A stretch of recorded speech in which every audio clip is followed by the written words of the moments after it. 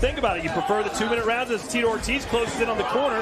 Not a lot of these punches landed flush. He's swinging and missing, but he caught him with a straight right there. Listen, I, I, I like the two minutes because of this right Oh, here. Oh. oh